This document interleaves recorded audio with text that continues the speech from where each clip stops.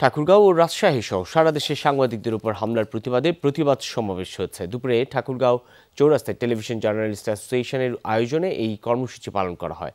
জেলার television journalist অ্যাসোসিয়েশনের সভাপতি পার্থ সারথী দাসের সভাপতিত্বে ঘণ্টাব্যাপী সমাবেশে বক্তারা বলেন, রুহিয়ায় পেশাগত দায়িত্ব পালনের সময় হামলার শিকার নিউজ টোয়েন্টি ফোরের জেলা প্রতিনিধি আব্দুল লতিফ লিটু, পীরগঞ্জে দৈনিক মানবকণ্ঠ উপজেলার প্রতিনিধি, সন্ত্রাসীদের হামলার শিকার হন। রাজশাহী সহ সারা দেশে সাংবাদিকদের উপর হামলা চলছেই। অভিযুক্তদের দৃষ্টান্তমূলক শাস্তির দাবি জানান সংবাদকর্মীরা।